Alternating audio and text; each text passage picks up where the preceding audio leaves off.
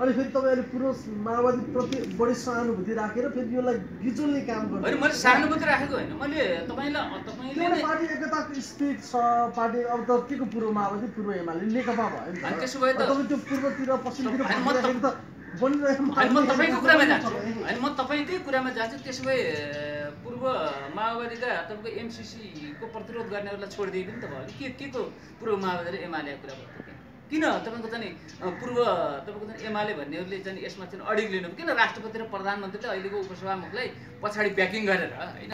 उहाँ त एक्लै त बोल्नु भएको छैन डाक्टर शिवमाया तुम्बाङले एक्लै बोल्नु भएको छ भन्ने कुरा त यो त लाटोले पनि जान्ने कुरा छ। ब्याकिङ छ। त्यो ब्याकिङ गरेर किन खेल्नु भएको छ? उहाँहरूले पनि छोडेर त भयो नि होइन? त्यसले तपाईँको यो के भन्दा कुनै व्यक्तिको प्रश्न नभएर यो नीतिगत तपाईँको प्रश्नसँग जोडिएको कुरा होइन? अब तपाईँले भन्नुभयो यो जहाँसम्म यो एमसिसी तपाईँको पास हुन्छ भन्नु मलाई अहिले पनि तपाईँको एमसिसी पास हुन्छ भन्ने तपाईँको मलाई लाग्दैन। र सभामुखको प्रश्नमा आफ्नो अडान पूर्व माओवादीहरूले कायम राखेर अहिलेका प्रधानमन्त्रीमाथि महाभियोग लगाउनुपर्छ गर्नुहोस्। किनभने किन हो? किनभने प्रधानमन्त्रीलाई महाअभियोग लगाउनु प्रस्ताव राख्ने कुरा रहला अर्को रहला के रहला होइन? महाअभियोग नयाँ शब्द सुन्नु हो हो तपाईँले हो यही भन्नु। म यो प्रधानमन्त्रीलाई किन महाभियोग लगाउनु पर्छ यो प्रधानमन्त्री आजभन्दा तेइस वर्ष पहिला महाकालीमा एक खरब बिस अरब आम्दानी हुन्छ भन्दै नेपाली जनतामाथि झुट बोलेको छ। त्यो आम्दानी कहाँ छ? म यो प्रधानमन्त्री र प्रधानमन्त्रीका गोएबल्स अँ, तपाईँको चाहिँ अरिङ्गालहरूले एउटा प्रश्न गर्न चाहन्छु।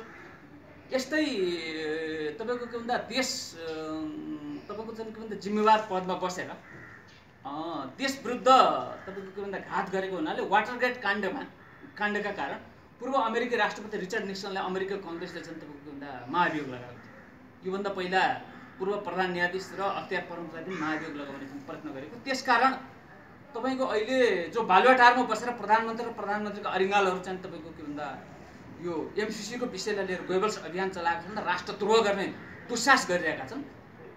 यसमा चाहिँ के भन्दा अहिलेको प्रधानमन्त्री केपी ओलीले चाहिँ महाभियोग लगाउँछ किनभने म तिन चारवटा पोइन्ट भनिरहेको छु हेर्नुहोस् केपी ओलीले युपिएफ समिट जो तपाईँको एसिया पेसिफिक समिटको नाममा चाहिँ तपाईँको यहाँ प्रोग्राम भयो होली वाइन को सहयोग आयोजक बन्दै बालुवाटारमा नभएर सोल्टी होटलमै बसेर प्रधानमन्त्री निवासमा नभएर सोल्टी होटलमै बसेर कार्यक्रम सम्पन्न गराए गराए त्यसको परिणाम अन्तर्राष्ट्रिय रूपमा नेपाल के भन्दा चाहिँ तपाईँको चाहिँ क्रिस्चियनहरूले अन्तर्राष्ट्रिय रूपमा नेपाल क्रिस्चियन रा राज्य भएको भनेर चाहिँ बदनाम गरे। झुटो प्रचार गरे। त्यसमा एउटा प्रधानमन्त्री जिम्मेवार छ। दोस्रो नेपाललाई इन्डो पेसिफिक रणनीतिक केन्द्र बनाए अफगानिस्तान संस्करणमा ढकेल्नका लागि र विख विखण्डन गर्न र चिनको घेराबन्दी गर्नमा। अहिलेको प्रधानमन्त्रीले चाहिँ तपाईँको के भन्दा जुन दुस्साहस र नाटक मञ्चन गरेको छ त्यो सबैका अगाडि चाहिँ खुल्ला छ।